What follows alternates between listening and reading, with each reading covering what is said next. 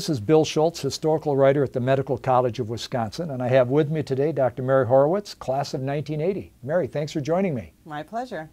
Well, let's get started. Tell me about your background. Where are you from? I was born and grew up in Brooklyn, New York. I'm the oldest of seven children. Hmm. My father was a lawyer, my mother was a homemaker, and uh, I lived in Brooklyn until I went to college, and I haven't lived there since. Okay. And, and where did you do your undergrad? I started at uh, State Co University, uh, State College of New York in Buffalo. Um, I wanted to be a teacher. I wanted okay. to teach children with disabilities. Um, okay. And uh, I had done volunteer work in that area all my life. I had a brother who had who was mentally handicapped and had a, and uh, so but I didn't, I grew up in a different era when the whole spectrum of what one could be wasn't really discussed at all. My, in fact, my, my parents uh, were, when I changed my mind and decided I was going to go to medical school, I didn't really think about medical school until I went to college. And you're answering my next question, yeah. so I want to hear this. So when I went to college, um, I loved biology. I'd already always loved science. And I had a friend who was a graduate student, and he was explaining to me what he, his project in the lab. And I was asking him all sorts of questions because I found it fascinating. And he said, Why are you going to be a teacher? You should be a doctor. And all of a sudden it occurred to me I could be. And so that was about what year in college? That was my freshman year. Freshman year. So that's when you and decided. That's when, I that's when I decided that maybe I should think about other things. That's great. Uh, and I um, was in a special program where we did everything by independent study, and I asked to do a project uh, in a lab. And so I spent a semester working at the University of Buffalo in a molecular biology lab. And I loved it. I absolutely loved it. And, but you know, I'd said all my life that I was going to be a teacher, so I said, well, maybe I should work in a classroom for a while. And the, the professor I was working with said, well, you know, my brother's a teacher, and I think you'd really like working with him, so why don't you spend a semester with him? So it was really an incredible opportunity to be in this program where I could do whatever I wanted, pretty much. Um, and I said, okay. She said, but he's in Milwaukee. Uh. And I said, that's fine. Um, you might want to edit this out, but being a New Yorker, I said, Milwaukee is that Wisconsin or Minnesota? no, that's okay. This is the fun of doing this. Right. So I, I came to Milwaukee for a semester okay. and I worked in, in this man's classroom and she was right, I really liked him and I had a good time, but I knew by the end that I was really wanted to do medicine. Mm -hmm. However, I married him. Oh, gee. and I moved to Milwaukee. This, this is a great start. Yeah. That's great. so, um, so I left Buffalo and I came to Milwaukee and I finished my undergrad at the University of Wisconsin-Milwaukee. Okay. And then now you're in Milwaukee, so that answers the question about why Medical College of Wisconsin. Did yes. you apply to other medical schools or was this it? I did apply to other medical schools, but I got an interview here right away mm -hmm. and I got accepted right away. So I withdrew all yeah. my other applications. I didn't interview anyplace else because I was pregnant with our first child. Mm -hmm. So you know, the idea of moving and starting medical school mm-hmm. and starting a family all at the same time was more than I could um, imagine myself doing. That's great. That's a good story.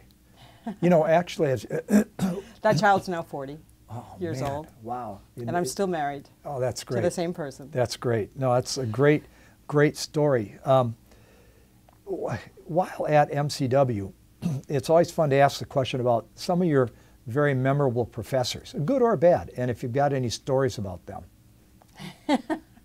um, okay, if there, if you say something that you don't want, I'll edit it out. You know, actually, I had wonderful professors. Mm -hmm. Any that you know, I started medical school with an eight-week-old baby mm -hmm. that I mm-hmm. brought to freshman wow. dinner, to the freshman wow. dinner. And um, a, a lot of people have asked me whether I ever felt um, discriminated against or not supported. Because and- you had the a yeah, baby? because I had a baby and I was married and I was a woman, and you know, only 25% of the class at that time were, were women. Mm-hmm. But I really felt like I was supported all the way along. Some people that were just wonderful. Um, Alan Mailer, who is the head of biochemistry, was very supportive. Uh, when I got into clinical rotations, uh, Charles Junkerman, Yeah. just What fantastic. a great guy. Great guy. Just a great guy, and you know the kind of doctor that you would want to be. Um, and uh, Mike Keelan, Oh, great, another great guy. Yep. Wonderful, wonderful doctor. Yeah.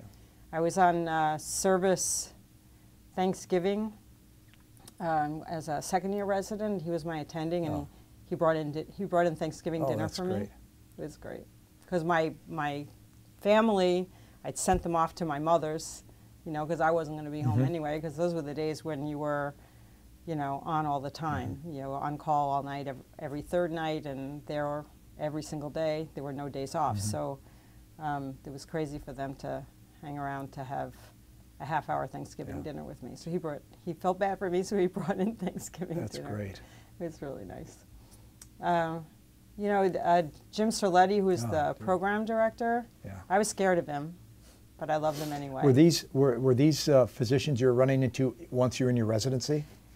you know, because I did all my clinical work here also, I ran into them both Sure. during my clinical years and, and during my residency. Yeah. Well, you've mentioned some great, great Oh, they're, people. they're really fantastic Yeah. people. Yeah. Oh, that's super. No, that's uh, that's great. Hey, let me ask you: Would you like a little water? no, I'm okay. Okay, good.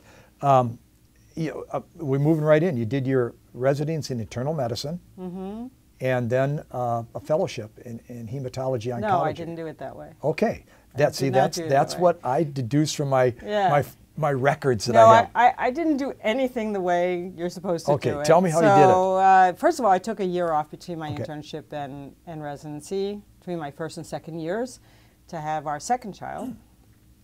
And uh, of course, everyone told me, oh, you'll never go back, you'll never go back. And of course, that was silly, because what else was I going to do? right. Um, but I enjoyed my year off. Mhm. Um, I enjoyed having having that time, um, and I enjoyed going back.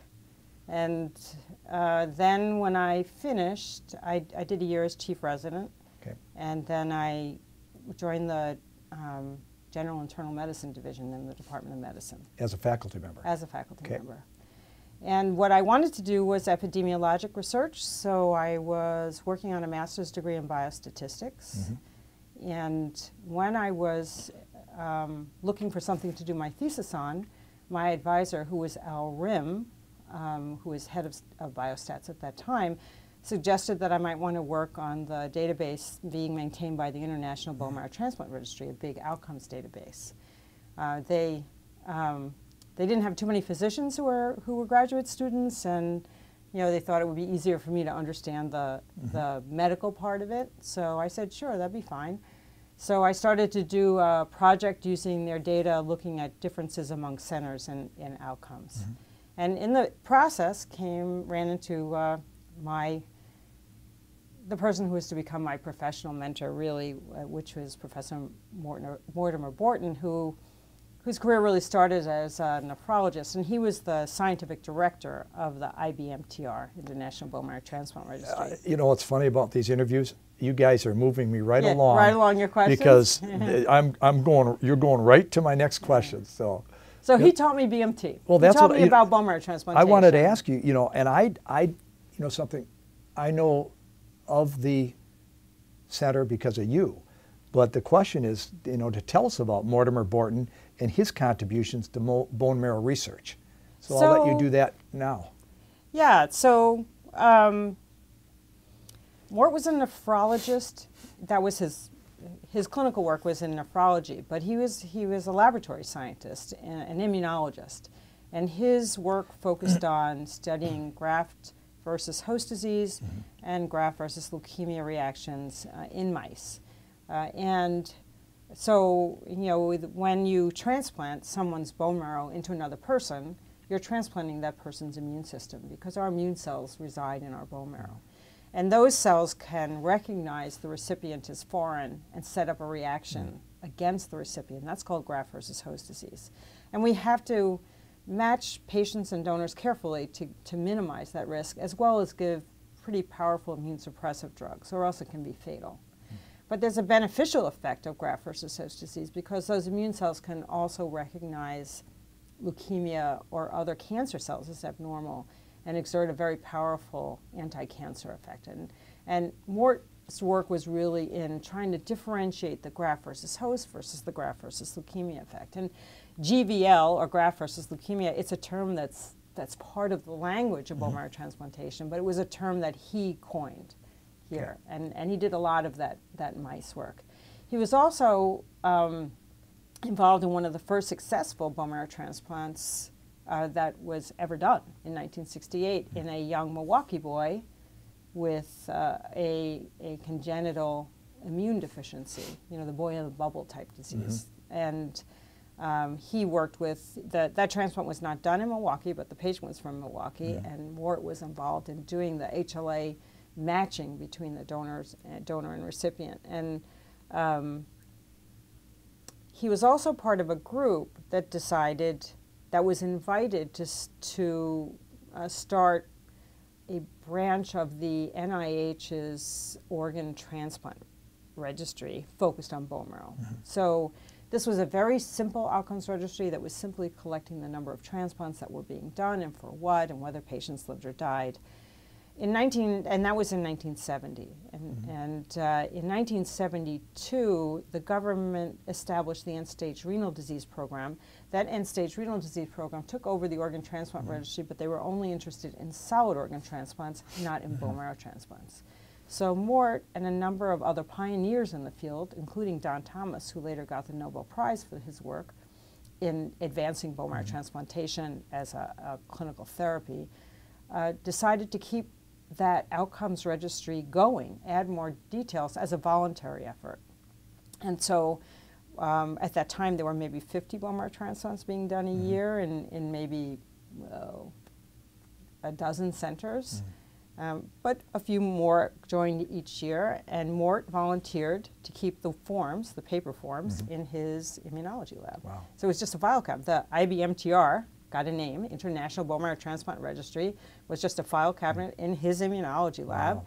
And every once in a while, they take out all the forms and they get a spreadsheet, the paper kind, not the Excel mm-hmm. kind, and, um, and write about first 50 transplants mm-hmm. for aplastic anemia, first 100 transplants for leukemia, wow. you know, and those were really landmark papers that showed that, that bone marrow transplantation could be successful in rescuing people with otherwise fatal blood diseases, both malignant yeah. and non-malignant. And did I read that uh, recently uh, in, a, uh, the magazine, um, MCW magazine, that we're at about 450 locations now, and about 425,000 patients yeah, in that registry un now. Unbelievable. So when I was a graduate student and an early faculty member, it was 1985, and that's when I started working on the database. And we had a big party that year because the registry received its 1,000th case. That was also a very big year because it was the first year that the registry received its uh, big NIH mm. grant, and we still have that grant today. That's great. And um, that really um, allowed the research enterprise to go, but it was also a time when, when transplantation was taking off as a, a much more accepted therapy for blood cancers and, mm. and, and non-malignant blood disorders. So I came in right at the right time. That's you. You did. I did indeed. I did indeed. You've lived at that the, time. Really, the it was success. great. No, that, and, and so cool. I did my master's thesis on the on the transplant uh, registry's data, and and Mort and Al Rimm, um, who the st statistical director said, "You're good at this," mm -hmm. and um, well, I think they said you have a knack for data. Oh, I think that's what, that was the term that well, that they used. You have a knack for data, and I loved it. Yeah. And, and said, well, instead of doing your research in general medicine, mm-hmm. I had been doing some research in hepatitis vaccines and, and preventive care. He said, well, why don't you make your research in the registry in bone marrow transplantation. And I said, yes, I wanted to do that, but I wanted my clinical work to be the same as my research. So I, then I went back and did a fellowship in oncology, really focusing on bone marrow transplantation. Well, you had your interest in research began before. It sounds Yeah. like it began really before you even got into medical school. That you that was a path that you enjoyed. I like research. Yeah. Fact, what's funny, um, I really loved working in the lab, Mm-hmm. uh, and I thought about being a PhD versus an MD, and I said, oh, I don't want to be a PhD because you always have to write all these papers and, and get grants. So instead, I went to medical school, but then I stayed in research, so I still have to write all those papers and get Yeah, grants. but you've had great I have success to see it. patients also, which I love. Do- which I I love clinical medicine. Dr. Bortin, I, I did. Is he still with us, or is he No, he, he died in 1994. Was he still on our faculty at that time? Yes, he was still on okay. our faculty That's right when I arrived, so that's probably why I didn't get a chance to meet him or know him. But what a boy, what an exciting story to learn about him. You know, within within uh, you know the work you've done, any other collaborators that you've had here at MCW that you'd like to mention? Well, in 1993, Al Rimm left the college uh, to, to go to Case Western, where he still teaches. That's He's great. In his 80s. That's I super. ran into him the other day. He's really quite remarkable. Um, and and uh, John Klein Hmm. uh, took his place as, as dir- director of the Division of Biostatistics. And John really took our data analyses to another level. So he was not only a great uh, analyzer of data, he was a methodologist. So he, he really did a lot in terms of developing the, the statistical methodology that we now use and many others use for analysis of transplant data. And he was, he was a, a wonderful asset to the, to the IBMTR uh, until his death just a few years ago. Yeah, I, uh, I did. I did not. I knew who he was, and I, I was sad to. I remember sitting we in my office sad. and literally seeing him walk by our alum, the alumni office windows, and it was a few days. It was that weekend, I think, Yeah. that he passed. I'm sorry to hear that. I wish I would have gotten to know him. Um, you know, during your, your time at MCW, uh, you mentioned, you know, during your years as resident M, uh, medical student, some physicians, any uh, other faculty that have served as mentors other than Well, Dr. Buzz Bort- Cooper. Yeah, Buzz. Yeah, Buzz Cooper. So he both when he was dean and um, also uh, when he stepped down Mm-hmm. from the deanship, he became the director of the Health Policy Institute, and, and in that capacity, I reported directly to him because Okay. the IBMTR was in the Health Policy Institute. Um, and uh, he was a great mentor. He was a great mentor. He challenged you to be your best. Made me cry more than once.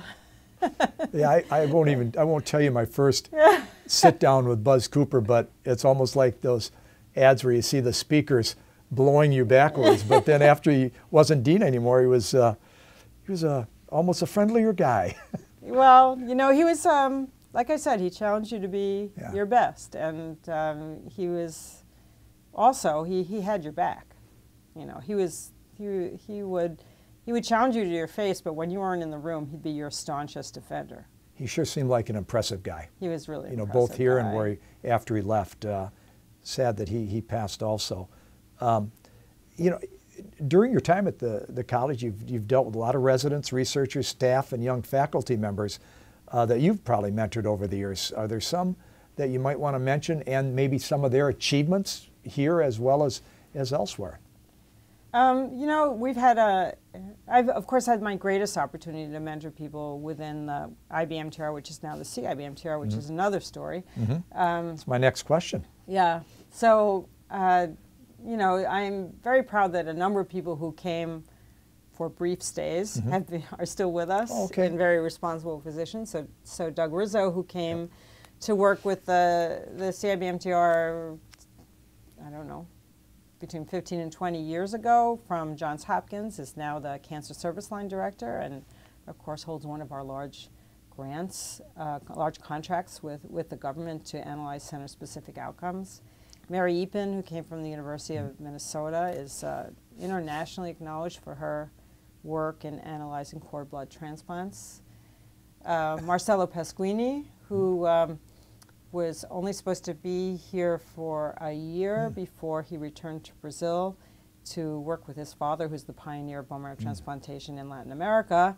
uh, is still here. Wow, that's great. and um, is really a, a, key person in um, not only the CIBMTR but the blood and marrow transplant clinical trials wow. network. Um, and some people have come and grown and, and gone, gone on to other things. Chris Bredeson came here from the University of Ottawa and now leads the University of mm. Ottawa, uh, went back and is now the uh, director of the University mm. of Ottawa transplant program. Yeah, uh, Jakob Passweg came from Basel, Switzerland, um, and then and is now the director of the mm-hmm. BMT program back in, in Basel. Wow. Neither one of them went directly back to their institutions, yeah. but ended up in leadership wow, positions. That's great. Turning out uh, a lot of uh, leaders that are, you know, yeah. taking the, the charge around the world. That's great. Yeah. That's great. Now, you mentioned, and it was the International uh, Bone Marrow Transplant Registry, and now it's the Center for. International Bone Marrow Transplant Research. Blood and marrow transplant research, because of how, course how now we don't only just use bone marrow for transplants. We use blood, blood mm -hmm. collected either from veins or yeah, blood so the, collected from umbilical cord blood. Mm -hmm. So um, bone marrow was too restrictive. Mm -hmm. So but, it's the blood. Uh, it's it's the Center, Center for, for, International Blood and Marrow ah, Transplant Research. Okay. My mistake there. Great. Right, it's you know it's too long a name and too well, long an was the change was the the change to to the center was that related to expanding it? Yes. Okay. So in um, so as I said, I joined in in the IBMTR mm-hmm. in 1985. In 1987, um, the U.S. government established a, a, bone marrow donor registry. So we are an outcomes registry. We collect data on the outcome of patients. But in 1987, um, as the use of donors other than family members was, was mm. beginning to be more accepted, um, there was the need to establish large panels of donors in order to try and find a good match for, for a patient who needed it because there's many different tissue types in the population. So um, that bone marrow donor registry also set up an outcomes registry to track the outcomes of the, of the unrelated mm-hmm. donor transplants it was facilitating. And um, that donor registry is located in Minneapolis. Mm-hmm. Um, and it's run by the National Marrow Donor Program, and it's now known as Be the Match, the mm-hmm. Be the Match Registry. So the National Marrow Donor Program, or NMDP, wa- did, did and the IBMTR over the years sometimes competed, sometimes collaborated. We came together in 2001 t- to become the coordinating center for the new national clinical trials in, in blood and marrow transplantation, the BMT Clinical Trials Network. Um, that is funded by the National Heart, Lung, and Blood mm-hmm. Institute and the National Cancer Institute. And in 2004, we decided to formally combine our research programs into a single research mm-hmm. program. And uh, we renamed the program the Center for International Blood and Marrow Transplant Research, um, missing the opportunity for a shorter and easier to remember name. However, it's, uh, it's, I guess it says what it is. Uh, it says what it is, that's right. And the IBMTR had, had really become synonymous with clinical research in, mm-hmm. in transplantation, so everyone besides me was loath to give it up. Mm-hmm. At any rate, so we've been the CIBMTR since then. Um, the affiliation between the Medical College of Wisconsin and the NMDP has been incredibly successful. Mm-hmm. Um, we have very complementary types of expertise, but now we have a two campus operation. So we have about um, 80 staff and faculty on this campus and about 100 uh, staff and faculty on the Minneapolis campus. Is that University of Minnesota? No, it's the so. National Donor Program, okay. which is a nonprofit organization. Super. Yeah. Well, that's neat. The, um, you know, the other thing that I, I know that your department works on don't you put on like the largest conference? Yes. In the world for. No, for it's not area? the largest in the world. No, there's for a this similar, area. There's a similarly large conference in Europe, but oh, it's okay. the we do the North American BMT meetings every year in collaboration with the American Society of Blood and Marrow Transplantation. And, but it's a and big that's about 30. I think we had about 3,300 people last yeah. year. Yeah, I know yeah. it's a, I know it's a big meeting, and it has been going on for quite a few it's years. About uh, 95. Wow. That's great. The you know your you know your career is amazing. Can you mention a, a few of your proudest achievements, if you can narrow it down?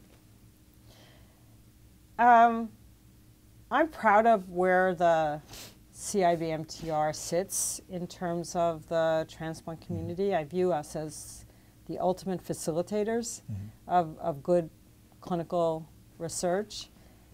Um, but I don't really view them as my achievements because you know that's one, one thing that Mort taught me early. She's, he said, if you can't think we instead of I, this is not the job for Yeah. you. That's great. And uh, I always have tried to be true to that.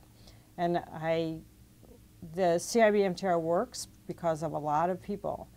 You have to remember there are hundreds of centers out there that, with not enough um, money from us, supply the data that makes our research possible. Um, and there are a hundred, oh, there are almost 200 people in the CIBMTR that work to make us successful.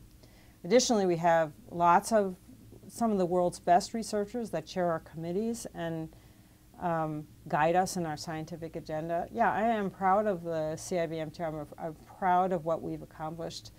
I don't view them as my personal accomplishment. Um, I've been very lucky, very lucky.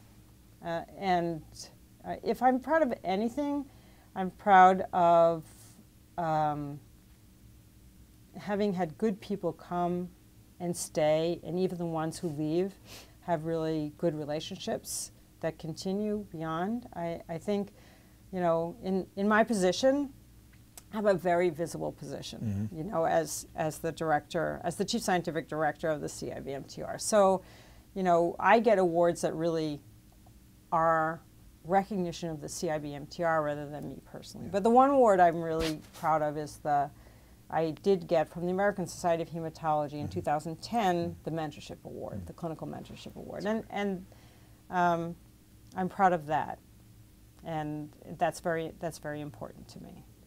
You know, it's interesting talking about you're talking about the pride and people staying. Mm-hmm. You're the uh, I recently uh, interviewed uh, Chris Schultz, uh, Oh, and, yeah. and new chair of uh, Yeah. radiation oncology. He and- and he, he's a great guy. He's and- wonderful. But he was.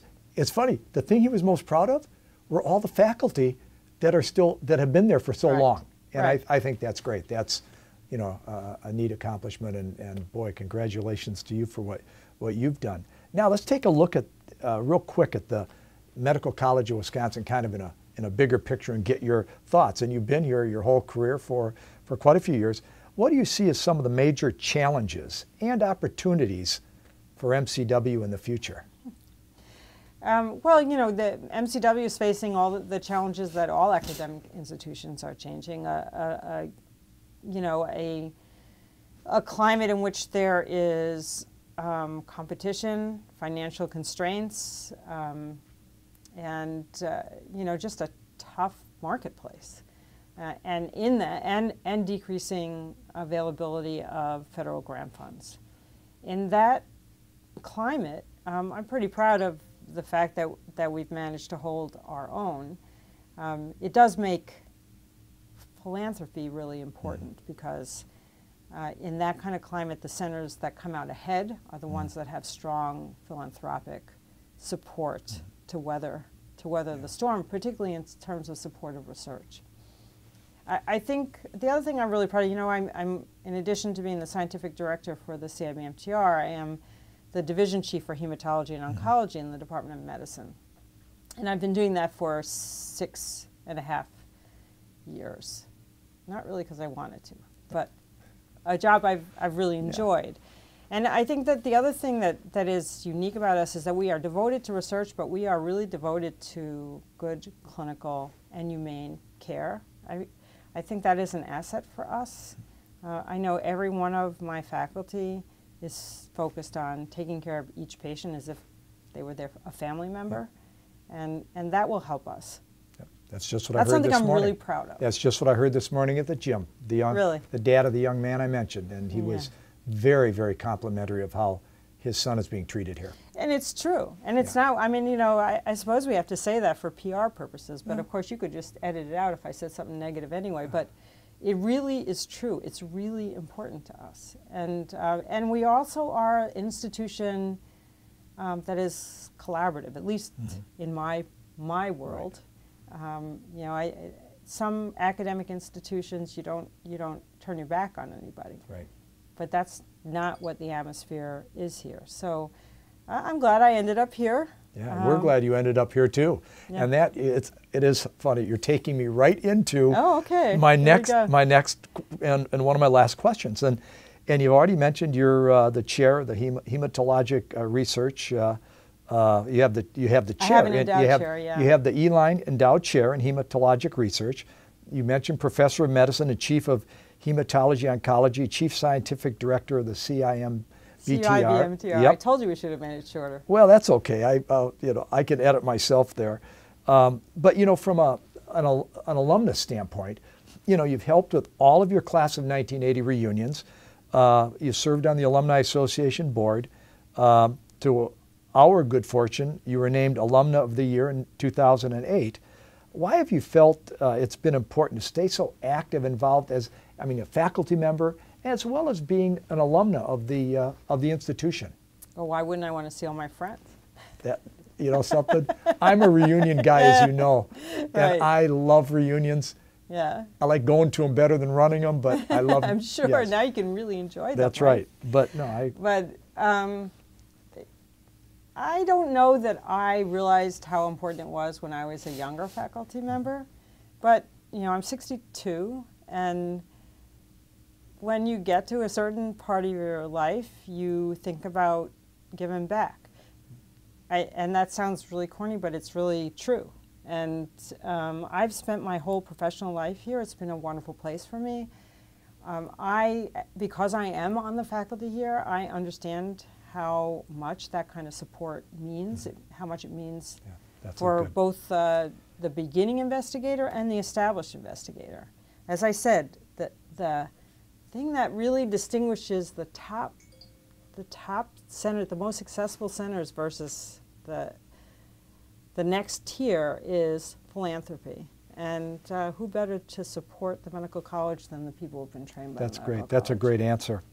One last question How, you know and, and you're the perfect person to answer answer this how do you see medical education having changed from the time you were here uh, you know late 70s through the early 80s to the students today Um, well, you know, when I, it was already starting to change. Now, this is 40 years ago, you know, because it's 40 years ago this fall that I started medical school. And already um, people were starting to say less memorization, more understanding concepts, more, more learning how to be a lifelong learner. Uh, of course, there's all the things that old people complain about. You know, we don't work the students as, or the residents as hard.